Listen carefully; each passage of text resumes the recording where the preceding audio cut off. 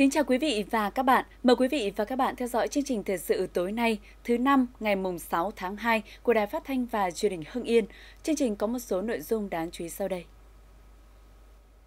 Đồng chí Bí thư tỉnh ủy Đỗ Tiến Sĩ chủ trì và phát biểu chỉ đạo tại hội nghị giao ban thường trực tỉnh ủy với các huyện, thị, thành ủy. Chủ tịch Ủy ban nhân dân tỉnh Nguyễn Văn Phóng kiểm tra phòng chống dịch viêm đường hô hấp cấp. Các địa phương doanh nghiệp chủ động phòng dịch viêm đường hô hấp cấp. Nhiều thanh niên tình nguyện lên đường nhập ngũ. Chuyển đổi cơ cấu cây trồng tạo đột phá trong sản xuất nông nghiệp. Thưa quý vị và các bạn, triển khai đồng bộ các biện pháp có kịch bản cụ thể ứng phó với từng tình huống chống dịch viêm đường hô hấp cấp do virus corona gây ra và tổ chức thành công Đại hội Đảng bộ cấp cơ sở là phát biểu chỉ đạo trọng tâm của đồng chí Đỗ Tiến Sĩ, Ủy viên Ban chấp hành Trung ương Đảng, Bí thư tỉnh ủy, trưởng đoàn đại biểu Quốc hội tỉnh tại hội nghị giao ban giữa thường trực tỉnh ủy với các huyện ủy, thị ủy, thành ủy quý 1 năm 2020 vào chiều qua ngày 5 tháng 2. Cùng tham dự hội nghị có đồng chí Nguyễn Văn Phóng, Phó Bí thư tỉnh ủy, Chủ tịch Ủy ban nhân dân tỉnh và các đồng chí ủy viên Ban Thường vụ tỉnh ủy, Phó Chủ tịch Hội đồng nhân dân tỉnh, Phó Chủ tịch Ủy ban nhân dân tỉnh, lãnh đạo các sở ngành huyện, thị xã, thành phố trong tỉnh. Tình hình phát triển kinh tế xã hội các huyện, thành phố, thị xã những tháng cuối năm đạt kết quả khá, góp phần cùng tỉnh hoàn thành và vượt nhiều chỉ tiêu kế hoạch năm 2019 công tác chuẩn bị tổ chức Đại hội Đảng bộ cấp cơ sở nhiệm kỳ 2020-2025 đảm bảo tiến độ. Về công tác phòng chống dịch viêm phổi cấp do virus corona gây ra, các địa phương thực hiện nghiêm việc cách ly theo dõi người từ Trung Quốc trở về có nguy cơ nhiễm dịch. Đến nay, Hưng Yên chưa phát hiện có người nhiễm dịch. Phát biểu tại hội nghị, Chủ tịch Ủy ban nhân dân tỉnh Nguyễn Văn Phóng nhấn mạnh, dự báo năm 2020 có nhiều khó khăn dịch bệnh xảy ra ngay từ đầu năm, vì vậy các ngành địa phương phải quyết liệt triển khai các biện pháp nhằm thúc đẩy sản xuất kinh doanh, thu ngân sách để hoàn thành nhiệm vụ của năm cuối nhiệm kỳ. Hưng Yên phấn đấu đến hết năm 2020 hoàn thành 100% huyện được công nhận huyện nông thôn mới, tăng cường kiểm tra xử lý nghiêm sai phạm về quản lý đất đai, tình trạng mua đất nông nghiệp đầu cơ trái phép gây khó khăn cho công tác đền bù, giải phóng mặt bằng, thu hút dự án đầu tư. Phát biểu kết luận hội nghị, đồng chí Bí thư tỉnh ủy Đỗ Tiến Sĩ biểu dương các ngành địa phương nỗ lực thực hiện hoàn thành nhiệm vụ trong những tháng cuối năm. Đồng chí yêu cầu các địa phương chuẩn bị tốt các điều kiện để tổ chức thành công Đại hội Đảng cấp cơ sở, phấn đấu tổ chức xong Đại hội Đảng bộ cấp huyện trước tháng 7 năm 2020 và sớm hoàn thiện báo cáo chính trị Đại hội Đảng bộ tỉnh trình Ban Thường vụ tỉnh ủy. Về công tác phòng chống dịch viêm phổi do virus corona gây ra, Bí thư tỉnh ủy yêu cầu các ngành địa phương thực hiện nghiêm phương án phòng chống dịch, giám sát cách ly toàn bộ những người đi và đến từ vùng nguy cơ nhiễm dịch để hạn chế đến mức thấp nhất, không để lây lan ra cộng đồng. Tiếp tục kiện toàn, bí thư tri bộ đồng thời là trưởng thôn, thực hiện tốt kế hoạch sản xuất nông nghiệp những tháng đầu năm, bố trí kế hoạch học tập cho học sinh sau thời gian nghỉ phù hợp, giải quyết dứt điểm đơn thư khiếu nại, tạo đồng thuận trong toàn xã hội, phát huy các nguồn lực để thực hiện hoàn thành vượt các mục tiêu đề ra trong năm 2020.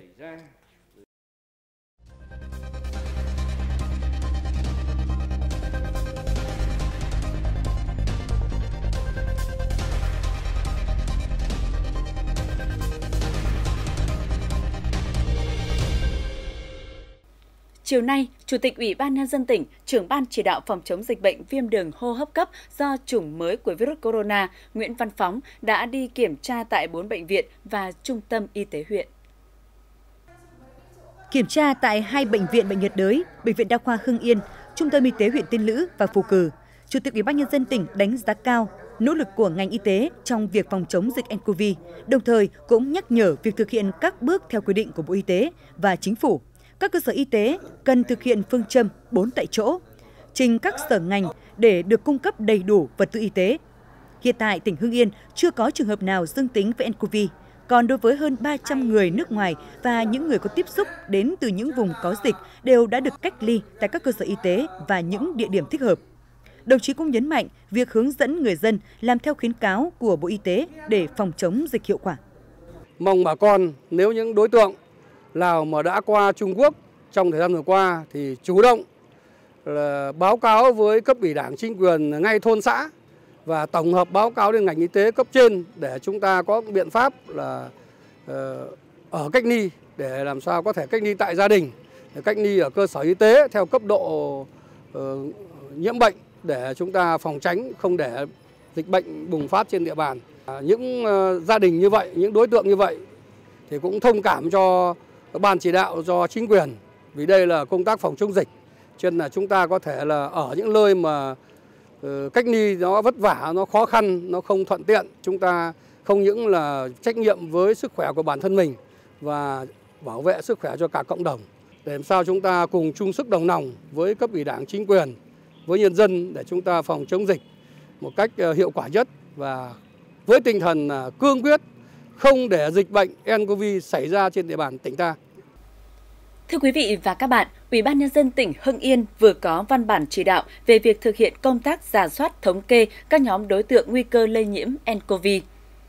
Kính gửi Công an tỉnh, Sở Y tế, thực hiện công điện số 184 ngày 4 tháng 2 năm 2020 của Chủ tịch Ủy ban Nhân dân tỉnh về việc lập tức cách ly tuyệt đối đối với trường hợp nghi nhiễm nCoV. Ủy ban Nhân dân tỉnh giao 1. Công an tỉnh chủ trì phối hợp với Sở Lao động Thương binh và Xã hội, Sở Văn hóa Thể thao và Du lịch, Ủy ban Nhân dân các huyện, thị xã, thành phố, chỉ đạo công an các huyện, thị xã, thành phố, công an các xã, phường, thị trấn thực hiện giả soát, thống kê, cập nhật kịp thời tại địa bàn cư trú, nhà nghỉ, khách sạn, nhà ở công nhân, nhà dân, khu trung cư, khu tập thể. Thông tin về những người có nguy cơ cao lây nhiễm nCoV. Báo cáo Ủy ban Nhân dân tỉnh, Ban chỉ đạo phòng chống dịch bệnh nCoV tỉnh, Sở Y tế trước 17 giờ hàng ngày qua địa chỉ email vtphương a hưng yên gov vn hoặc nghiệp vụ y sở it a hưng yên gov vn 2. Sở Y tế chỉ đạo đảm bảo các điều kiện về y tế hậu cần đối với các đối tượng thực hiện cách ly, theo dõi y tế tại cơ sở y tế. Chủ trì phối hợp với Công an tỉnh, Ủy ban Nhân dân các huyện, thị xã, thành phố xử lý thông tin kịp thời, áp dụng biện pháp theo dõi, giám sát y tế chặt chẽ đối với các trường hợp trong danh sách theo đúng các quy định về phòng chống dịch bệnh và các quy định hiện hành, báo cáo Ủy ban Nhân dân tỉnh, Ban chỉ đạo tỉnh theo quy định. Thay mặt Ủy ban Nhân dân, ký thay Chủ tịch, Phó Chủ tịch Nguyễn Duy Hưng. Thưa quý vị và các bạn, sáng nay Sở Y tế tổ chức tập huấn về chẩn đoán điều trị bệnh viêm đường hô hấp cấp do chủng mới của virus corona gây ra cho các bác sĩ trong lĩnh vực truyền nhiễm khám bệnh và khoa y tế cộng đồng của tất cả các bệnh viện và các trung tâm y tế huyện, thị, thành phố trên địa bàn tỉnh. Giáo sư tiến sĩ Nguyễn Văn Kính, Chủ tịch Hội truyền nhiễm Việt Nam cũng cho biết chỉ 10% số người nhiễm chủng mới của virus corona tiến triển sang thể nặng, nguy hiểm đến tính mạng, chứ không phải tất cả các ca nhiễm. Vậy nên người dân không nên quá hoang mang. Tuy nhiên, các biện pháp phòng dịch luôn phải đặt lên hàng đầu vì virus tồn tại trong cơ thể người khoảng 4 tuần kể từ khi xâm nhập, có khả năng lây lan rất mạnh, đặc biệt trong thời tiết lạnh ẩm ở miền Bắc như hiện nay. Các chuyên gia đưa ra những kiến thức chuyên sâu về bệnh, những khuyến cáo về phòng bệnh và hướng dẫn điều trị bệnh viêm đường hô hấp cấp do chủng mới của virus corona gây ra. Ngoài ra, virus có thể tồn tại trên bề mặt kim loại từ 1 đến 3 ngày, vì vậy việc vệ sinh các bề mặt tiếp xúc cũng vô cùng quan trọng, nhưng hiện nay ít được người dân chú ý. Tiếp theo là tin các địa phương chủ động phòng dịch viêm đường hô hấp cấp tranh thủ thời gian học sinh được nghỉ học để phòng chống dịch viêm đường hô hấp cấp do virus corona trong hai ngày mùng 5 và mùng 6 tháng 2 năm 2020, huyện Văn Lâm phun thuốc khử trùng tất cả các điểm trường thuộc các trường học trên địa bàn. Thuốc được sử dụng khử trùng là Chloramin B có tác dụng diệt khuẩn trong nước, khử trùng bề mặt với tổng số lượng trên 1,5 tạ thuốc – sau khi phun thuốc khử trùng, các nhà trường sẽ tiếp tục chú trọng công tác vệ sinh môi trường lớp học, đảm bảo thông thoáng, phòng chống dịch bệnh nCoV để đón học sinh trở lại trường.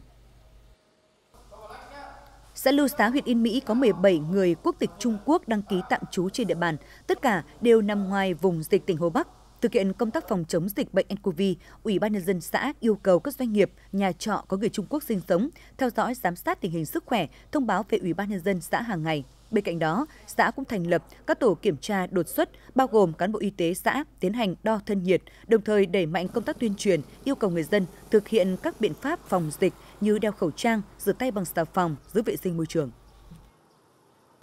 cùng với thành lập Ban chỉ đạo về phòng chống dịch nCoV, xây dựng phương án cho từng tình huống, huyện Tiên Lữ tổ chức tập huấn về công tác phòng chống dịch bệnh cho các cơ quan đơn vị, doanh nghiệp đóng trên địa bàn, cán bộ y tế huyện, các xã, thị trấn, y tá các thôn, đội. Phát khẩu trang miễn phí cho bệnh nhân và người nhà đến khám và điều trị, yêu cầu thường xuyên rửa tay khử khuẩn bằng xà phòng. Trung tâm y tế huyện thành lập đội phản ứng nhanh chống dịch nCoV, túc trực 24 trên 24 giờ, sẵn sàng tiến hành điều trị và kiểm soát lây nhiễm bệnh. Cùng với đó, khu nhà 3 tầng mới xây với gần 200 giường bệnh trở thành khu cách ly dự phòng. Chúng tôi sẵn sàng các biện pháp y tế cao nhất để tích cực, chủ động tại chỗ truyền thông với người dân ở những tại nơi khám bệnh bằng những tờ rơi, bằng à, phát thanh trên à, màn TV tại chỗ, thế rồi bằng các tổ tư vấn, tổ chức tập huấn được cho toàn bộ cán bộ y tế từ trung tâm đến huyện. Trên địa bàn huyện có 26 người nước ngoài đang sinh sống và làm việc, trong đó có 14 người Trung Quốc đều đang được áp dụng biện pháp cách ly tại nơi cư trú. Công ty trách nhiệm hữu hạn Dày Ngọc Tề là doanh nghiệp của Trung Quốc duy nhất đóng trên địa bàn huyện. Hơn 4.000 công nhân được phát khẩu trang, kiểm tra thân nhiệt trước khi vào làm việc. Công ty hiện có 5 người Trung Quốc, không ai ở tỉnh Hồ Bắc nhưng đều đã áp dụng biện pháp cách ly tại ký túc xá của chuyên gia nước ngoài theo đúng quy định. Bản thân tôi ở nước ngoài về nên tôi cũng hiểu rất rõ vấn đề dịch bệnh. Công nhân của công ty đến làm việc 100% đeo khẩu trang, đo thân nhiệt khi vào làm việc, sáng một lần, trưa một lần. Bản thân tôi cũng sẽ hạn chế với việc tiếp xúc với quá nhiều người, vệ sinh cá nhân sạch sẽ. Khi tiếp xúc với mọi người, tôi cố gắng đứng cách xa họ 2 mét. Khi hắt xì hoặc là nói chuyện với người khác, đều phải che miệng và đeo khẩu trang. Trước mắt thì tôi vẫn khỏe mạnh bình thường. Tôi tự mua nhiệt kế về đo hàng ngày, cứ vài tiếng lại đo một lần. Đến nay, tất cả các doanh nghiệp trên địa bàn huyện đã chủ động trong công tác phòng dịch. Đây là việc làm cần thiết để đảm bảo an toàn cho cộng đồng và ngăn ngừa dịch bệnh có thể lây lan khi xuất hiện. Bên cạnh đó, huyện cũng đề ra các giải pháp cấp bách để phòng dịch. Quan niệm của huyện là phòng dịch cũng như chống dịch, cho nên chúng tôi xác định đây là giặc, giặc bệnh, bệnh corona cho nên là phải quyết liệt, không được nghỉ ngày đêm nào để làm và ưu tiên hàng đầu cho vấn đề ừ, phòng dịch này. Tại công ty cổ phần nhựa Hưng Yên ngoài cấp phát dụng cụ dưỡng chất để tăng sức đề kháng cho công nhân thì mọi người đều được tập huấn nâng cao ý thức phòng chống dịch. Ngoài phát khẩu trang, nước rửa tay và vitamin C để tăng sức đề kháng cho công nhân, thì mọi người còn được bác sĩ của doanh nghiệp hướng dẫn biện pháp rửa tay đúng cách, cách tự tạo khẩu trang bằng giấy ăn hàng ngày, chỉ từ những tờ giấy qua những nếp gấp đơn giản cùng hai dây thun và chiếc dập kim mọi người đều có thể nhanh chóng tạo cho mình một chiếc khẩu trang để đeo. Qua đây cũng được ờ, hướng dẫn thêm về cách phòng chống về dịch bệnh thì về sẽ hướng dẫn cho người thân trong gia đình và hàng xóm xung quanh để nâng cao ý thức góp phần phòng tránh dịch bệnh tốt hơn. Công ty đã thực hiện đo thân nhiệt bắt buộc đối với người lao động và cả khách đến giao dịch, đồng thời phối hợp cùng cơ quan quản lý nhà nước ứng phó kịp thời khi phát hiện người có nguy cơ nhiễm dịch. Rửa tay bằng xà phòng, đeo khẩu trang đã trở thành quy định bắt buộc. Tại các khu ra vào nhà xưởng đều có các tờ hướng dẫn phòng chống dịch để mọi người nâng cao ý thức. Cả các bạn công nhân muốn đi vào trong công ty thì phải đều qua cổng bảo vệ và bảo vệ sẽ là người chịu trách nhiệm đo thân nhiệt nếu như thân nhiệt 37 độ 5 là chúng tôi sẽ đề nghị là cho bệnh nhân đi vào à, bệnh viện để xét nghiệm về công thức máu xem có bị viêm nhiễm hay như thế nào để theo dõi. Chúng tôi phát khẩu trang miễn phí, phát cồn và rửa tay và phát vitamin C uống trong vòng 25 ngày cho mỗi một người công nhân. Nhờ đó giúp doanh nghiệp giữ vững sản xuất, đảm bảo tiến độ các đơn hàng xuất khẩu đã ký kết với các đối tác. Qua một tháng của năm 2020, công ty xuất khẩu gần 6.000 tấn sản phẩm sang thị trường Nhật Bản.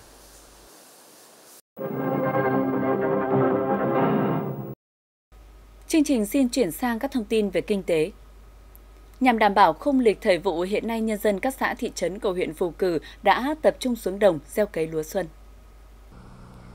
Vụ lúa xuân năm 2020, huyện Phù Cừ có kế hoạch gieo cấy trên 3.800 ha.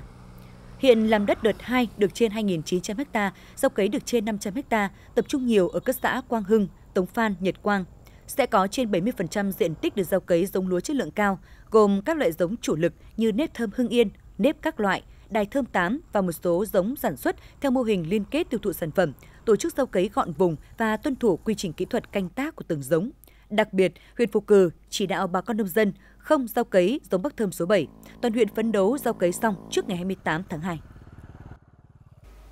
Những năm qua, phong trào chuyển đổi đất trồng lúa kém hiệu quả sang trồng cây hàng năm, kết hợp chăn nuôi và nuôi trồng thủy sản đã được các địa phương tích cực thực hiện và đã góp phần tạo bước đột phá trong sản xuất nông nghiệp và nâng cao giá trị canh tác của tỉnh. Năm 2019, toàn tỉnh đã chuyển đổi được gần 3.000 ha, nâng tổng số diện tích chuyển đổi đất trồng lúa kém hiệu quả sang trồng cây hàng năm, kết hợp chăn nuôi và nuôi trồng thủy sản lên trên 16.000 ha. Việc chuyển đổi đã gắn với việc chuyển giao ứng dụng tiến bộ khoa học công nghệ mới và sản xuất, khai thác được lợi thế về đất đai, lao động như cây nhãn tập trung ở các huyện Khoái Châu, Kim Động, Tiên Lữ và thành phố Hưng Yên, cây vải trứng tập trung ở các huyện Phù Cử, Ân Thi, cây có muối ở các huyện Văn Giang, Khoái Châu, Yên Mỹ, Kim Động, Phù Cử, thành phố Hưng Yên. Bên cạnh đó, các diện tích vùng bãi đã được cơ bản chuyển đổi từ cây trồng kém hiệu quả sang trồng các cây có giá trị như chuối, nghệ, hoa, cây cảnh. Vì vậy đã tạo thành vùng sản xuất thuận lợi cho thâm canh và tiêu thụ sản phẩm, nâng cao giá trị canh tác. Đến năm nay, tôi chuyển đổi được khoảng 285 hecta trên 357,4 hecta đất canh tác của địa phương thuận lợi cho vấn đề trồng cây ăn quả, đặc biệt là cây có múi, bưởi diễn cũng như là cam vinh và cam đường canh. Kiểm tra như hiện nay giá trị của tôi thường thường là tầm khoảng 6 đến 700 triệu trên một hecta đất canh tác. Huyện Văn Giang là địa phương đi đầu trong chuyển đổi với gần 3.000 hecta và giờ đây nổi tiếng về trồng và thâm canh hoa cây cảnh. Hiện nay, giá trị canh tác của huyện Trung Bình đạt gần 280 triệu đồng một hecta, thu nhập bình quân của người dân đạt gần 80 triệu đồng một năm. Từ cái việc mà vừa sản xuất ờ, vừa phát triển nông nghiệp vừa phát triển đô thị thế thì người người dân Văn Giang cũng rất là năng động sáng tạo đã rất thích ứng rất nhanh và đã từ cái việc mà chuyển từ cái trồng lúa ngô vùng bãi thì đến này đã phát triển các cái ngành nghề hoa cây cảnh cây quả và đã đem lại giá trị rất cao đấy nhiều diện tích của các cái xã như Xuân Quan Phủ Công đã đạt đến từ 1 tỷ đến 1 tỷ 500 triệu đồng trên một hecta và cái sản phẩm tiêu thụ trong thời gian qua rất là thuận lợi. Đến nay, giá trị canh tác trên địa bàn tỉnh đạt trên 200 triệu đồng một hecta. Đã có nhiều mô hình chuyển đổi đạt giá trị trên 1 tỷ đồng một hecta. Trong thời gian tới, ngành nông nghiệp sẽ hỗ trợ các địa phương xây dựng mô hình sản xuất chuyên canh, thâm canh theo chuỗi với phương châm mỗi làng xã có một sản phẩm nông sản chủ lực đẩy mạnh chuyển giao tiến bộ kỹ thuật, nhất là công nghệ cao, xây dựng và nhân rộng những mô hình sản xuất nông nghiệp hiệu quả, tạo sức lan tỏa trong thôn, xã, giúp nâng cao giá trị gia tăng cho nông sản, nâng cao năng suất lao động và sức cạnh tranh của nông sản, khuyến khích tích tụ ruộng đất phù hợp với điều kiện ở Hưng Yên, phát triển và nâng cao hiệu quả hoạt động của hợp tác xã nông nghiệp kiểu mới, thu hút doanh nghiệp đầu tư vào sản xuất nông nghiệp, tạo sự gắn kết chặt chẽ hiệu quả giữa bốn nhà, chú trọng xây dựng và phát triển nhãn hiệu, thương hiệu nông sản, chỉ dẫn địa lý đối với các sản phẩm nông nghiệp sạch của tỉnh nhằm nâng cao giá trị kinh tế trên cùng một đơn vị diện tích, phát triển đời sống của người dân trên địa bàn toàn tỉnh. Thưa quý vị và các bạn, nhập ngũ để rèn luyện và trưởng thành hơn, đó là quan niệm chung của 1.800 thanh niên xứ Nhãn đang háo hức đón chờ ngày được khoác trên mình bộ quân phục màu xanh vững bước lên đường, góp sức trẻ xây dựng và bảo vệ Tổ quốc. Họ là những thanh niên ưu tú mang trong mình nhiệt huyết của tuổi trẻ với mong muốn góp sức trong sự nghiệp xây dựng và bảo vệ Tổ quốc. Ngay khi còn ngồi trên ghế nhà trường, Doãn Đức Thiện, thôn Đỉnh Cao, xã Đỉnh Cao, huyện Phù Cử, luôn ấp ủ ước mơ trở thành sĩ quan quân đội nhân dân Việt Nam. Vì vậy, em đã nộp hồ sơ đăng ký thi vào trường sĩ quan lục quân 1 nhưng không đỗ. Sau đó, Thiện đăng ký nguyện vọng 2 vào trường Đại học Công nghiệp Hà Nội. Ra trường, Thiện đã có việc làm ổn định tại một công ty ở thành phố Hà Nội với mức thu nhập ổn định. Tuy nhiên, hiểu được trách nhiệm của người công dân đối với Tổ quốc khi có lệnh gọi khám sức khỏe nghĩa vụ quân sự, Thiện đã nghiêm túc chấp hành. Em tốt nghiệp trường Đại học Công nghiệp Hà Nội. Thì sau khi ra trường em đã nhận được một công việc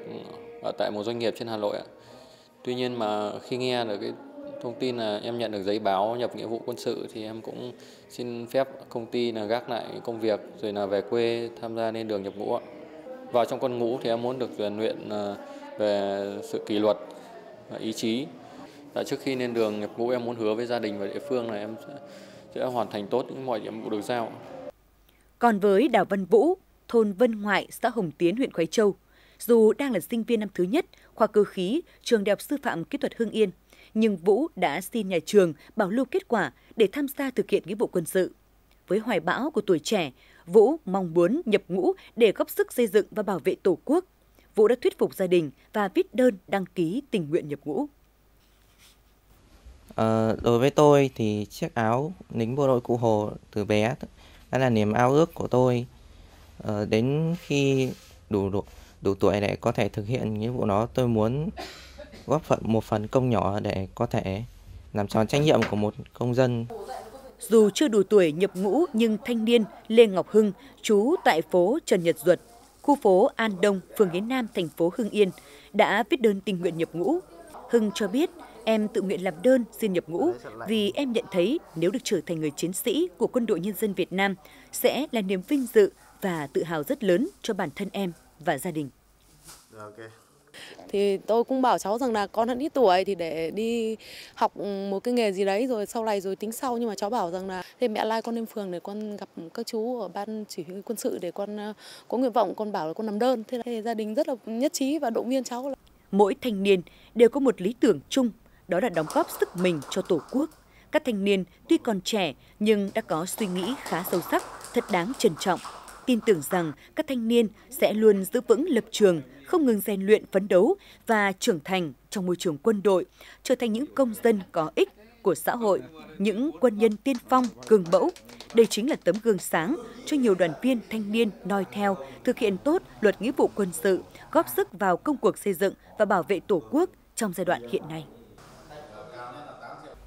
Quý vị và các bạn thân mến, chương trình thời sự hôm nay của Đài Phát thanh và Truyền hình Hưng Yên xin được khép lại tại đây. Cảm ơn quý vị và các bạn đã dành thời gian theo dõi. Xin kính chào tạm biệt và hẹn gặp lại.